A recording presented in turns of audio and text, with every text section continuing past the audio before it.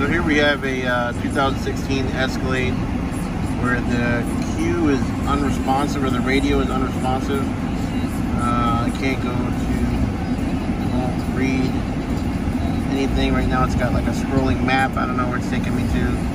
Somewhere out in the boondocks of Texas. I can't click on anything. If I click home, it does take me to home. If I click audio, settings, climate, nothing's working. So I am going to be installing a new screen. Um, so yeah, 2016 Escalade. Uh, it's a known issue with Cadillac and GM, but of course, uh, yeah, probably getting it covered for under 1500 bucks at the dealership.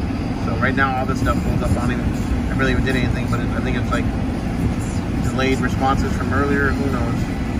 So, uh, so yeah, we've got a couple little tools here, and we're ready to go. All right, so radio has been removed.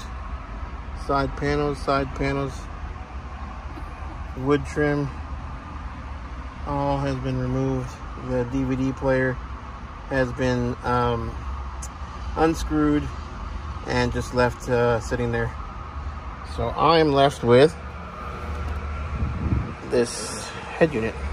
So it had, let me see, two plugs on each side and three plugs in the back that were a little, weren't too hard to get rid of or unplug. That one was a little hard to unplug. It had two clips, uh, two retaining clips on top and bottom.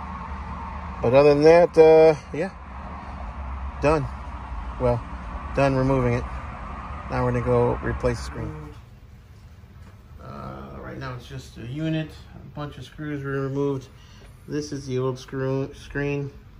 This is gel inside this uh, screen that goes bad. So uh, this is the unit. Took about, well, it's taken about an hour, give or take. This is a new screen we're about to put on. Brand new, wrapped in plastic.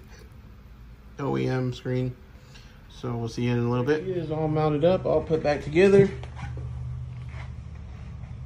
Uh, brackets are all on. Plug outputs all look like they're in the right holes. And uh, yeah, we're gonna go put her in uh, the Escalade. Well, there it is, gents. Finished product.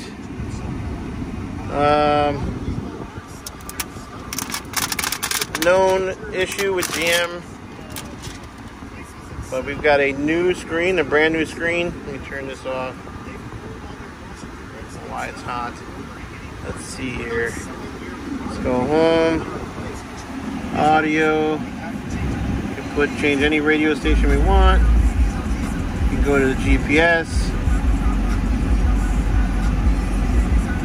Go to AC mode. AC on and off.